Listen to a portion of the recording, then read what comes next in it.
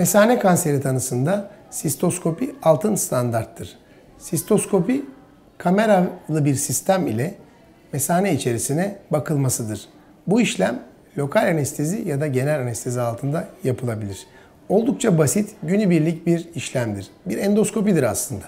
Dolayısıyla sistoskopi ile mesane içerisine bakılarak şüpheli yerlerin görülmesi ve bu şüpheli yerlerden mesane kanseri yönünden biyopsiler alınarak patolojik incelemeye gönderilmesi ve hatta mesane yıkantı suyundan sitolojik inceleme dediğimiz bir takım sıvıların alınması mesane kanseri tanısında bize yol göstericidir.